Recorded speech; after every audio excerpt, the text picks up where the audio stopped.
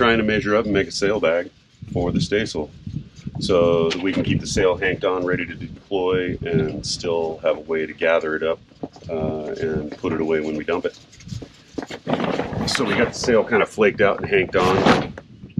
Um, came up with this idea of just kind of wrapping a bed sheet around it, trying to conceptualize what Jeni and I have been arguing about this morning. So something that's going to have buckles on the front to go around the forestay, and something that's easy to gather up on top. And then once you get the once you get the sail in, flaked, and then it's folded twice, so it's in three sections. And then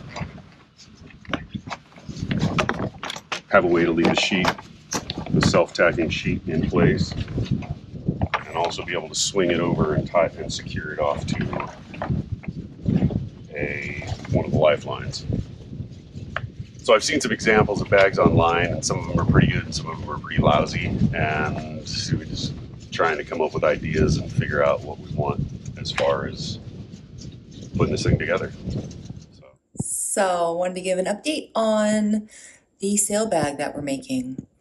Um, I'm at our apartment here in Sacramento, and I got this big, wide open space to work in. I drew this pattern. It's pretty much a mess. I kind of took it part of it from the Sailrite video where they made their staysail bag. Theirs is going to be a lot different than ours because there's just some things on there that we didn't want to do that we want to do on ours. Um, and you know, I'm not really sure if I'm doing everything right, but we'll see how it turns out. So I've got this piece of uh, this is cadet gray. This is the color of our the sacrificial piece on the jib, and the mainsail bag is this color. So I've got this pretty big piece that I'm gonna use. I've also got a bunch of little goodies here. So this right here is Tex. I'm hoping that it's gonna be work for the drain. Kind of a, a met, we're gonna do a mesh on the bottom about six inches so that if there's any water inside, it will drain out. Um, and then inside here, you can't see it, but there's um, some other fabric. It's called Shelterite, and it's for chafe protection. And then I've got some Dacron tapes. Uh, they're not adhesive, they're just Dacron. Um, that's a Shelterite strip, zipper, some uh, webbing, which we're going to use on the inside of the bag. And then I've got uh, another strip of webbing. That's going to be for a D-ring at the back so that we can hang it. I've got an idea of what we want it to be. Let's just hope, hopefully I can execute it. However, we wanted to hire somebody to make this for us and couldn't find anybody to do it. So Rich came up with some designs that he, or ideas, I guess, that he wanted. How it works is first thing we did, I did was I sewed, sewed the, um, this is like, it's called Tex, and it's um, breathable and it's supposedly water will will go through it. So kind of as a drain on the bottom, and it doesn't go all the way to the back. It goes that, that far. yeah, you can actually hold it up to the light. You can see through it. Okay. Um, so the other thing we did was we put these. We wanted some sail ties that were kind of built in here, so that we could just grab the sail and and get it under control. So I put these Dacron patches in. The canvas book I has had says you want two inches on each side for a patch. So this is two inches, this is five, and this is six. So that gives me two inches all the way around on each one. We have two in the front and two in the back. We got those. Uh, we did a D-ring on some webbing to attach the back so it can be up off the deck. And then for the zipper, we did kind of like a parka style zipper and then I made the stop at the back because I had to cut it. So that's the stop at the back. Alright, so this is the final test fit for the staysail bag. So we still have to put the common sense fasteners in. So this will come together like this, and then we'll have, they'll sit together so that they will match like that a little bit. Inside we just have an opening. This is Dacron, so it won't chafe.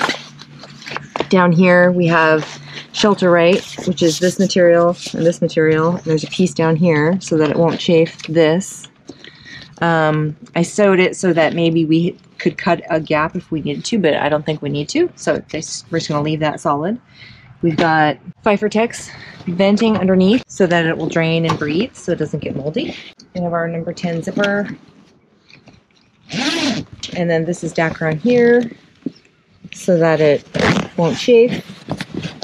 And then inside we've got our sail ties to hold it, to hold it together. And then on the back I did, this is a piece of webbing with a loop, a key-ring. So that's what it looks like on the back.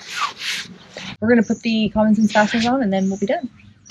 So now I'm installing the uh, these quarter turn fasteners, these common sense ones. There's a grommet and a backing plate that go into the canvas, and then this piece gets riveted to this side. Now I just got to cut the holes. I got these two installed. I'm going to install the third one here, and I'm using a special tool that punches out the hole, which is the oval hole for the backing plate and the front side grommet. Just going to mark it out and punch it through. I'm using a dead blow hammer. It's not great on the floorboards because the floorboards tend to resonate a little bit. So it's not a solid surface. It would be better if I was like on a concrete floor or something like that. But, yeah.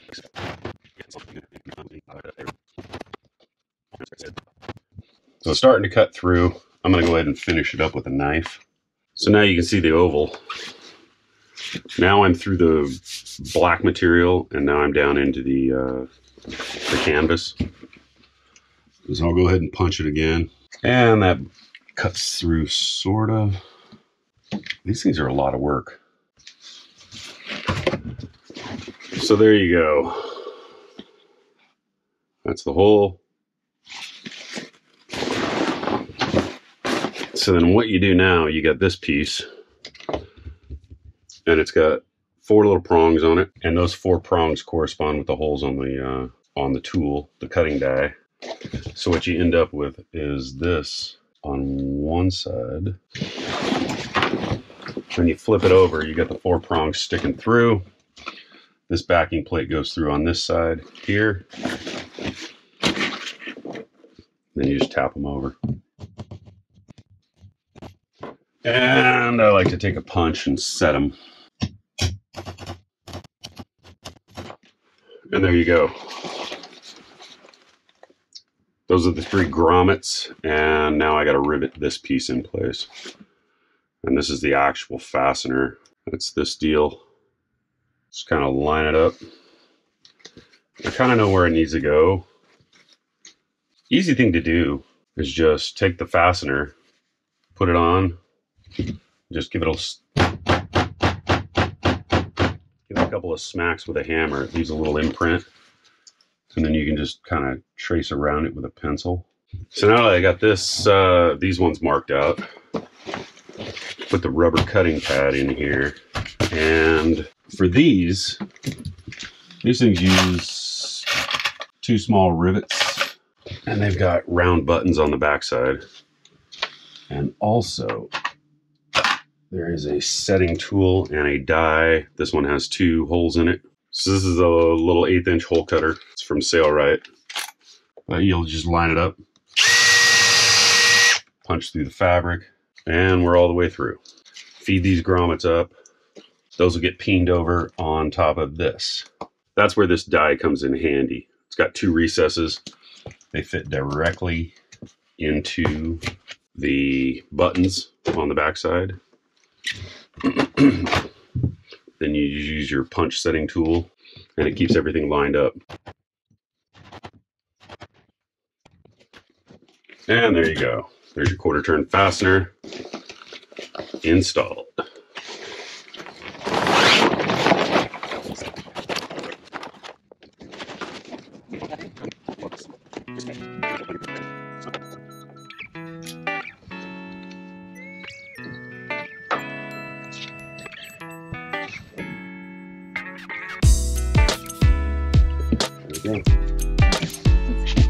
That fits better than I thought it was going to. Actually, Yeah, I saw it when it was when it looked like when you pulled it out and added this flap. It looked really. I'm like, okay, that'll work.